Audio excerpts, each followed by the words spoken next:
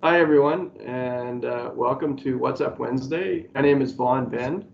I'm the Chief Executive Officer of Aquatera, and I'm here today and privileged to talk about safety at Aquatera. Uh, first, I'll start off by saying that safety is a core value at Aquatera. It's key in everything we do, and it's very linked and, and integral in kind of delivering our core mission, which is helping grow healthy communities. Uh, we really are committed to health and the safety and well-being of not only our staff but our communities that we operate in. It's a key component and a priority of ours. Uh, like I said, very important uh, in delivering on our mission. Uh, we commit and ask employees to commit as soon as they walk in the door. Uh, we ask them to commit to our core value of safety, and, and it's a dual commitment. We commit wholeheartedly and totally to making sure employees are safe at work, but we've also asked our employees to make the same level of commitment back to us. And to date, we found that that's an excellent, excellent way to make sure everyone's safe. Some of the things that we do to to ensure that and to give everybody opportunity to get uh, engaged in safety and participate in our programs, we have joint health and safety committee meetings. And what that is, is that's members from across the corporation, both management and staff, getting together and providing them a forum to discuss safety issues in real time and about real issues. And the goal there is to identify those issues and to rectify any issues around safety. We have daily team meetings, and regardless of the size of your team, you'll sit down daily and you'll talk about safety in the upcoming days' activities. What are the hazards in the workplace? How are we going to make sure that we can keep people safe? We have monthly team meetings, and those are larger meetings, but that's an opportunity to get the whole team together in whatever facility or site you work at at Aquatera and to talk about what's happened in the last month, what are the issues, what have we done about those, and then to talk about the future and how we can make safety better. So that's a very collaborative effort and something we find is very successful. We have health and safety audits.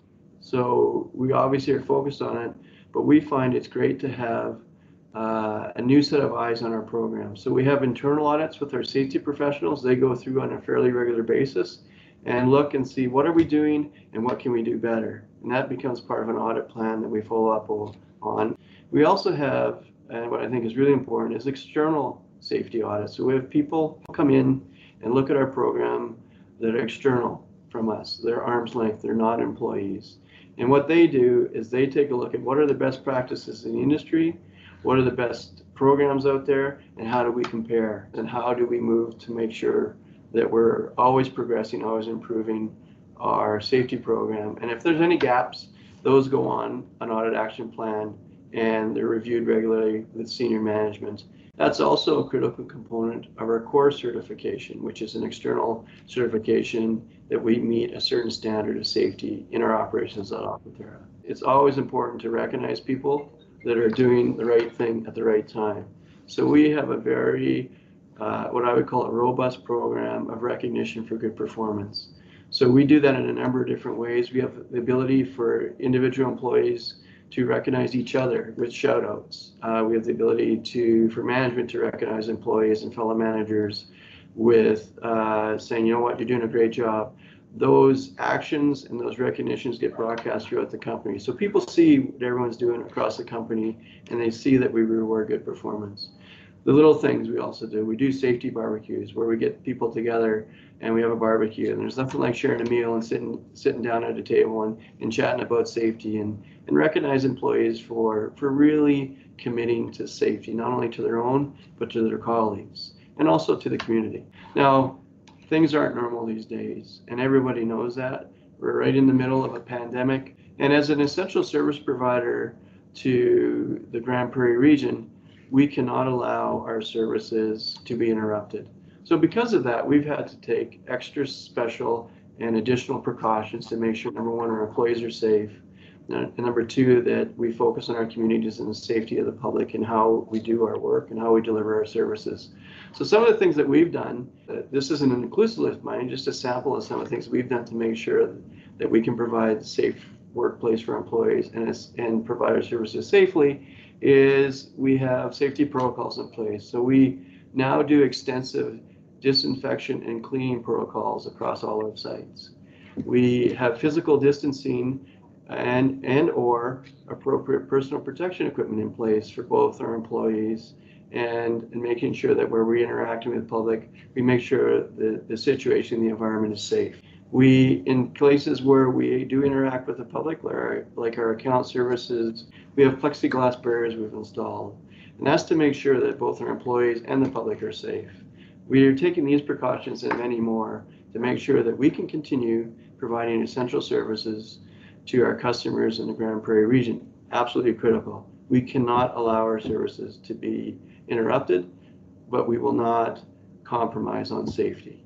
It has to be first and foremost in our minds and in our actions. And so we've taken these and other precautions to make sure that we can provide uh, these valuable essential services to the communities in which we operate. I want to take a moment just to really uh, shout out our staff. Uh, I want to thank them for their dedication and professionalism. Uh, there's additional, obviously, requirements. Um, the the fact of operating a pandemic has has obviously increased their workload. They have risen to the occasion and more. Uh, uh, and I just wanted to thank them. A bit of a shout out to them. They're doing a fantastic job. If you're interested in more information on our safety, our protocols, or anything else about Aquatera, please uh, visit our website, aquatera.ca, or our Facebook page, uh, or reach out to us uh, in other methods and means, and we will get back to you. I also want to just take a moment here to thank all essential services workers. And, it, and, and we're seeing people step up across society and across the community and across the Grande Prairie region uh, in, in difficult circumstances. And I want to thank uh, those essential workers across the board uh, for all their great service and fantastic, um, you know, effectively heroes without capes during this pandemic.